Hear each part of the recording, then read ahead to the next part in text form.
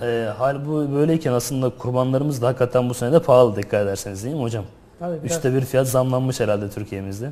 İstanbul'da. Olsun. Şimdi zengin insan kurban kesmek istediği zaman yani onun illa en güzelini alması lazım. Dokunmaz ki ona.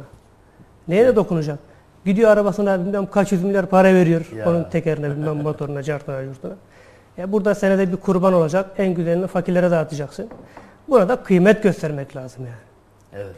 Çok güzel söyledin. Çünkü bunlar ahirette bizim karşımıza çıkacak olan şeylerdir. Ahirette senin karşında senin araban çıkmayacak ki.